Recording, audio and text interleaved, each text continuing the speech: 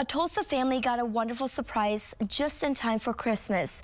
News on 6's Makayla Glenn was there and shows us how acts of kindness can change lives. I tagged along for the surprise and I was able to speak to the mother who says she didn't know what Christmas was going to look like for her and her family. Didn't know how I was gonna make Christmas happen for my kids, so you know. But I feel good now. I got a smile on my face. A festive home, Christmas tree, and gifts under the tree are a frequent sight to see, but that's not a reality for every family during the holiday season. Letitia Brown was struggling to make ends meet for her children, so any extras were out of the question.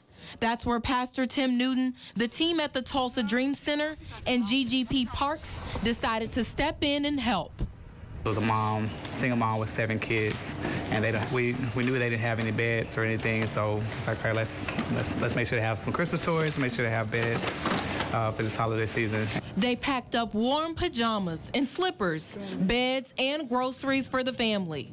Along with necessities, there was also dolls, trucks, and many other toys that will leave smiles on the children's faces on Christmas. And we're just gonna go out and just love on them. That's what we do.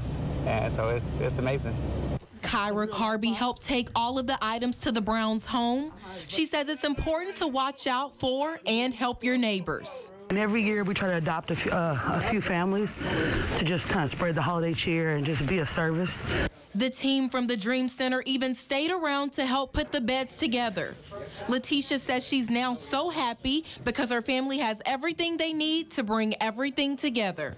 Dream Center came and helped. They pulled off and came out and showed out. I thank them, and we gonna have a great Christmas because I was stressed out how I was gonna do Christmas for my baby.